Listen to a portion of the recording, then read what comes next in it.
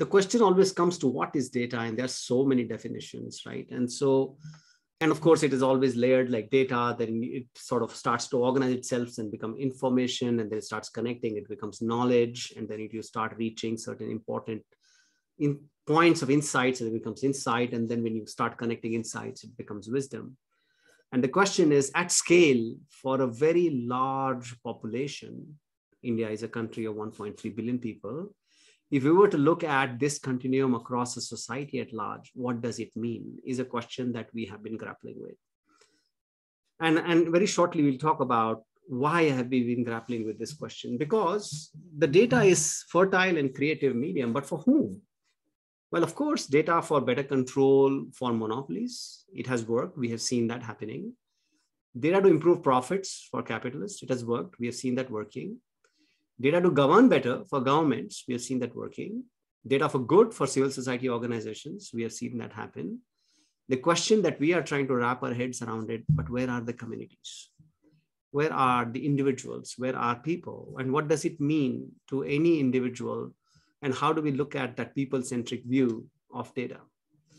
Communities, of course, have always played a very strong role as producers of data, because in the end, the data is produced by the interaction of humans um, and uh, in their different contexts. And that data is now available for all these different actors in the ecosystem to actually make difference and, and do what they, what they want to do.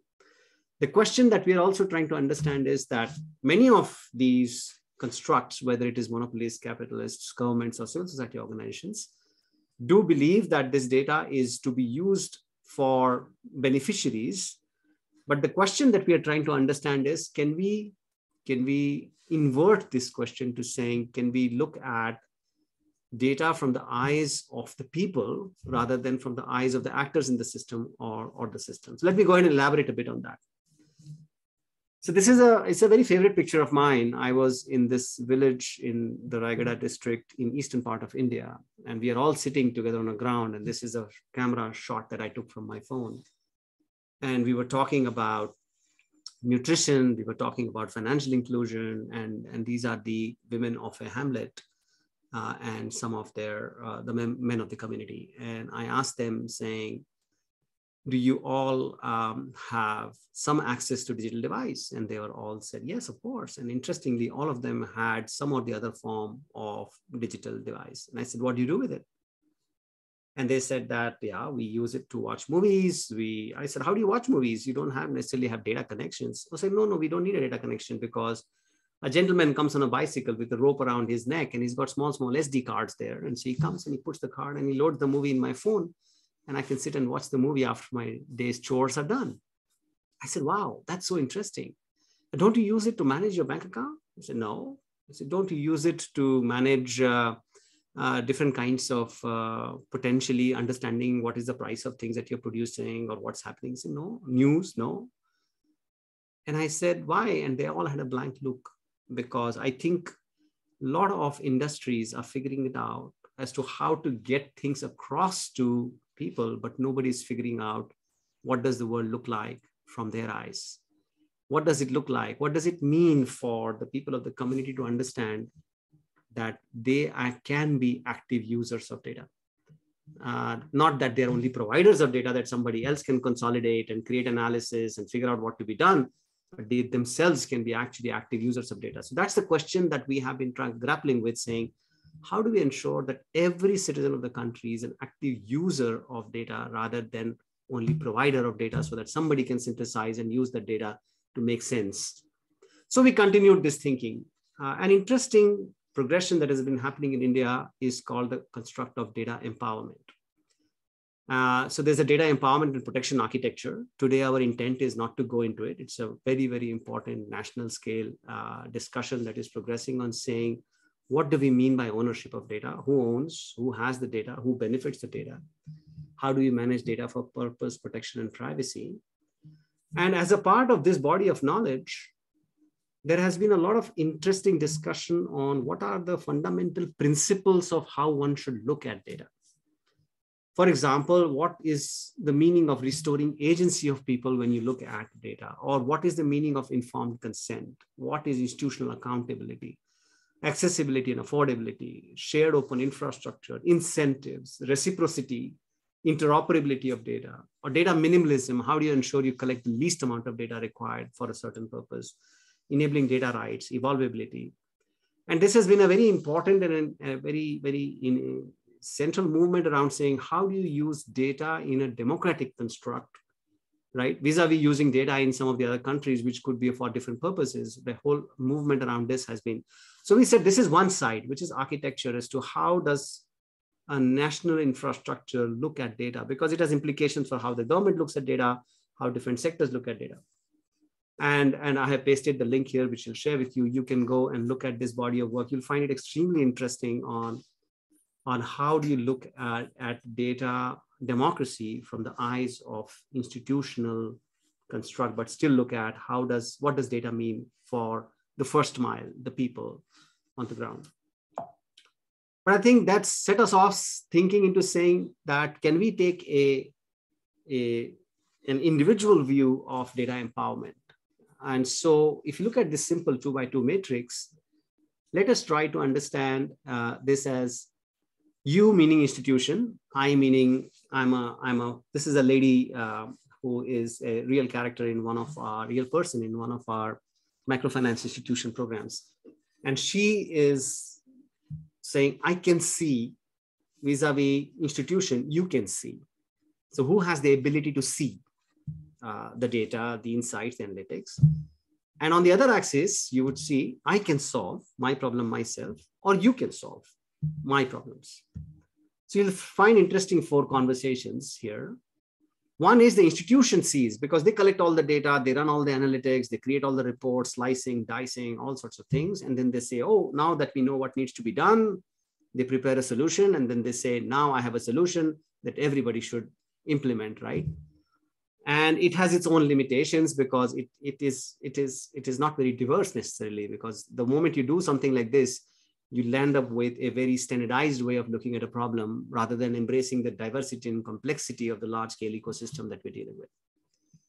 Sometimes it could be that the institution sees, but it tells the people saying, you solve this, you do this, right? So I, the institution sees and the individual solves, which we call as directed solving. So it's directing the institution, it's directing the individual saying, I have seen the data. I think you should do this in agriculture, or you should do that in farming, or you should do this in health.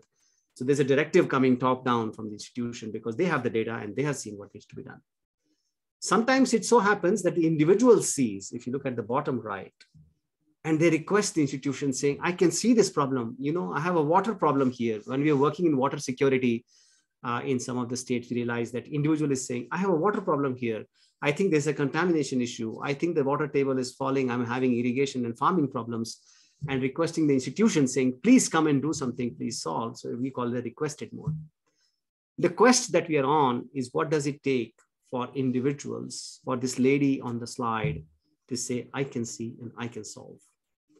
And if we can get to that understanding at scale that people can see and people can solve because of the infrastructure that we provide mm-hmm. before, because of the way we create data designs, because of the way we use technology, mm-hmm. as well as because of the way we build capacity of the system, then probably there could be a different paradigm of how large, complex, and difficult problems could be solved. You have experienced it in your lives remember there was a time when you used to navigate the world with the AAA maps, right? You would be sitting in this car with this massive sheet of paper uh, on the side of your driving seat, and you would be looking at this massive, and you would say, "Where am I?" Right? You would look at A7, and I need to go to C4, uh, and that was the world, right? And somebody had the data, and they would produce this map, and they give it this map to you, and now you have to figure your way out. And then today, you have this blue dot moment in your life. You open your Google Map and says, this is where you are, and everything is with respect to you. And we are saying, why can't that be for every farmer, every healthcare worker, every teacher saying, this is where you are, with respect to you, here is the rest of the world. Vis-a-vis saying, here is the rest of the world, go find your way, right? And so I think it is time that we really think about how do we move from the AAA world to the blue dot moment in every sector of development? And that's the question that we're obsessing with saying why is it not that a um, a midwife in a village can say, this is where I am, this is the village around me, this is the situation, this is the infrastructure, this is available, this is not available, this is what I can do, this is what I can't do. Vis-a-vis uh, sort of finding your way out and asking everybody in the institution, what can I do and what I can't do. So that is the quest. And we said, if you have to make this quest, there are four important capabilities, uh, which we call sense, make sense, solve, and aspire as a simple framework, right? So can I sense? Have you built infrastructure so that I can sense, I can see when I want to? I, meaning I, the farmer, I, the teacher, I, the healthcare worker, I can see when I want to vis-a-vis today where someone sees my data when they want to right so they see the data and they tell me what to do is that can i see make sense can i make sense with the data that i see solve can i seek solutions or solve my own problems and can i aspire for more data and new ways to solve so can we make this inversion that somebody will figure this out and somebody will look at the data and do the analytics and find the answers vis-a-vis I can see, I can sense, I can solve, and I can aspire. What does it look like? So let's look at a few examples to bring this to real life. We have learned a lot from Foundation for Ecological Security. They work towards observation of nature and natural resources through collective action of local communities. It's a fascinating uh, program running in India and they have this blue dot moment any villager can see the condition of water resources around her understand how much water is available for her to use discover variety of ways to solve the water problem build ways to maintain and increase water supply demand budget or infrastructure for better access to water leveraging the rich data to improve water security for the village saying it is in her hand saying i can i know what's going on here.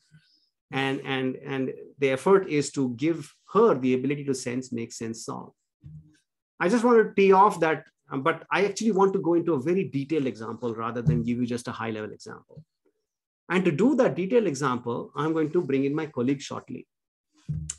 In summary what we are trying to get to is that data classically has been used as a mechanism for measurement and evaluation right? Saying improve your own ability to see and solve. I want to measure, I want to evaluate if my program is running well. Vis-a-vis data being used for agency empowerment, where we improve the person's ability to see and solve. This is the transition. To give you a deep dive into an example, I'm going to invite uh, my colleague to talk through a case on empowering education leaders. So we will take the example of education.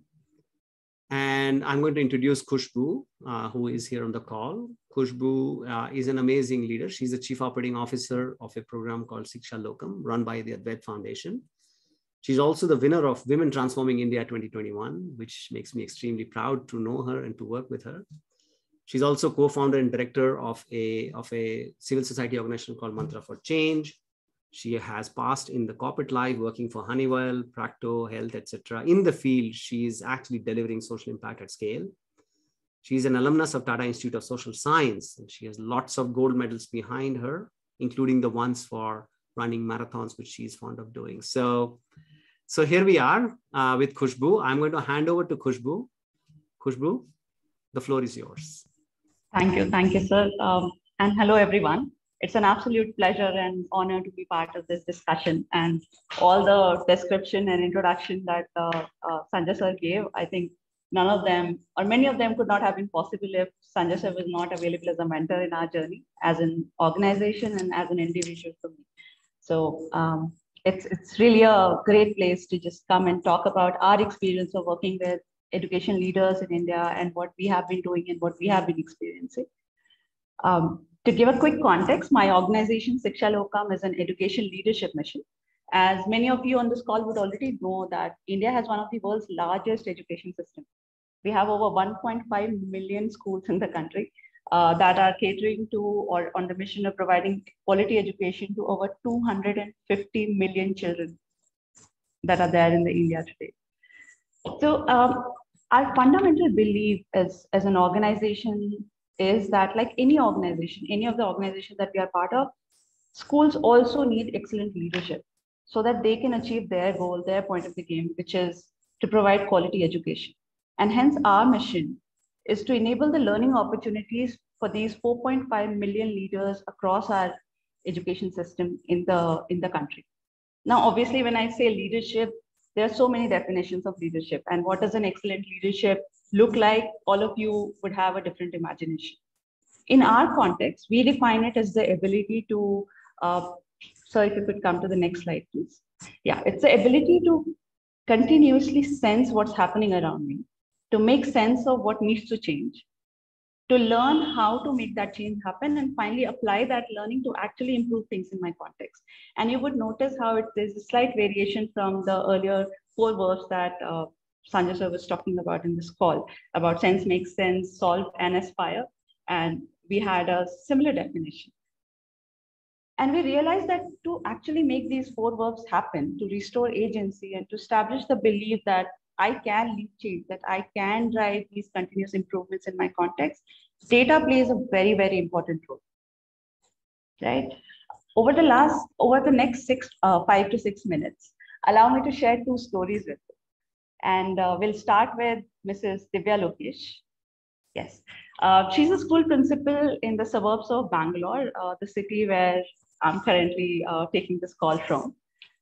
I met her almost five years back, and uh, it was in her school. It's, it's an affordable private school where, which caters to children from underserved communities. And when I met her, she shared how she has many dream projects, and as she called it, dream projects around how to make her school, school better. But she wasn't sure where to start. So when we started our engagement with her, our team showed her a simple school improvement framework. And there are so many out there because there are so many educationists and academicians who are working on school improvement as a subject.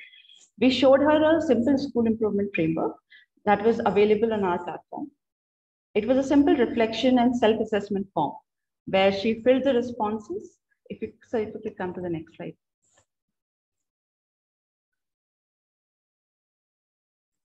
Yes. And when she filled this form, uh, she started uh, seeing the ratings on various parameters. The, the screenshot that you show uh, that you see on the screen right now, this was something that was available to her to say that on various parameters on the school, uh, school as an organization, how was her school performing? What was the areas where she was doing extremely well? Which were the areas where she she she wanted to she needed to improve? So, I mean, once she and not I mean, once she had access to this, and once she prioritized and decided to improve on a particular parameter, next slide, if we come to it, I'll show you how she had access to a whole repository of micro improvement projects that she could take up. And there was this whole guided journey that was made available to her at the tip of her fingertips to say, once you have prioritized, you have you have filled your responses, you have sensed what is going great, what is not going great. Now here are the, here are the ways in which you can improve. So this is if you see next slide, sir. If you see, because the relevant tools and the right data was made available to her, she could freely engage in this whole cycle that we spoke about earlier of sense, make sense, learn, and improve without any fear. And this is very important. And I and Sanjay did touch upon this where there's no fear that there's some big authority figure who is watching over me, who is uh, mandating things, what needs to be done, what I should be doing or not doing. So the fact that she could choose what to improve upon and how this feeling itself was very liberating uh, built her confidence.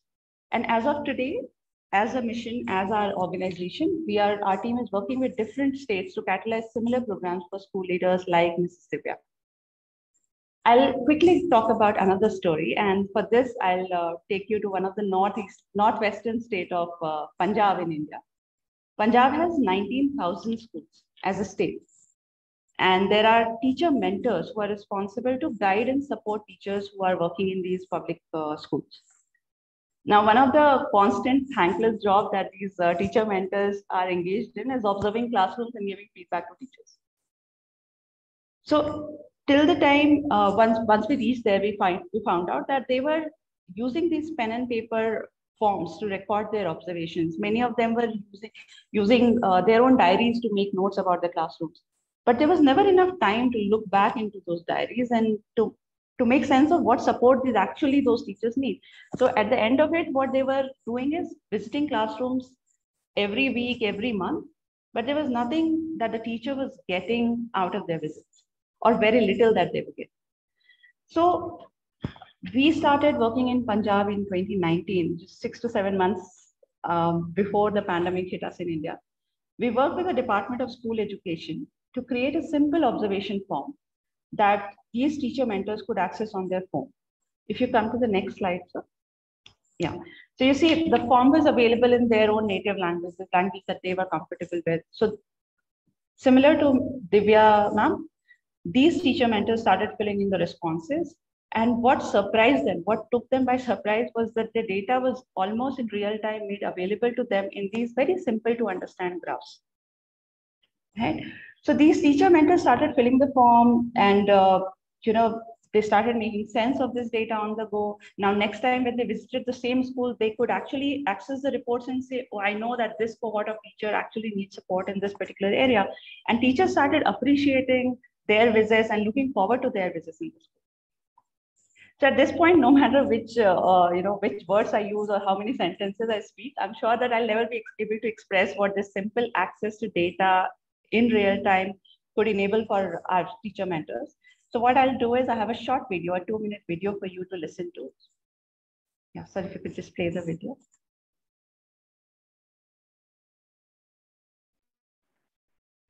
And we can't hear anything on the video.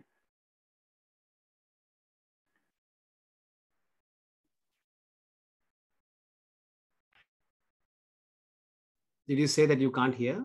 Yeah, it's not. Audible. Yes, we can't hear. Oops. Uh, that is not good news. Uh, Zoom always does that. Yes.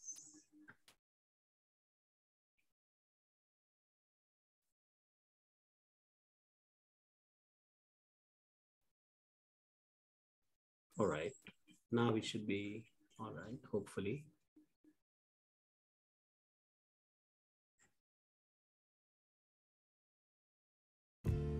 Hello everyone, my name is Dipali. I'm working as a block mentor science in East One block of Jalandhar district of Punjab.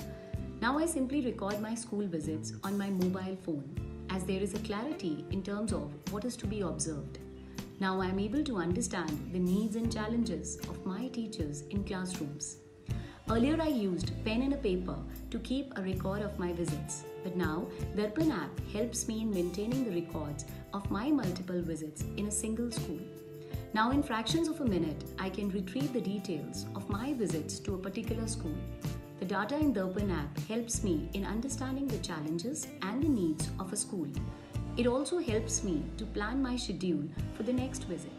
I can plan my meetings easily with schools and teachers as data from visits is very handy and easy to read. It also helped me to plan my conversations and support for teachers. For example, if I notice that a group of teachers is struggling with a key concept, I can plan a demo or a activity regarding that topic in block meetings.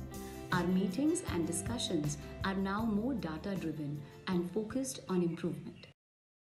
All right, so um, what I will do um, uh, that I want to pass the baton to you guys, which is there. Um, we want to make sure that it's contextual to you. You heard our hypothesis that empowering communities with data can help them see and solve better. You heard two examples of how that can be done. So now we want your help to see if this hypothesis works for other problems, other communities, other geographies. And so to give it some structure, we want you to think of these three questions. In your community, who benefits the most with an ability to sense and make sense? Who's the first mile? And in certain cases, who's also who's the second mile? Who's the one helping the first mile? The second question I want you to think of is what data is valuable to this individual in the context of the problem you're working on? And the third one is how can you create this blue dot moment for them by integrating the data in their everyday lives. And you saw examples of, um, in both the cases, how did they integrate it in everyday lives.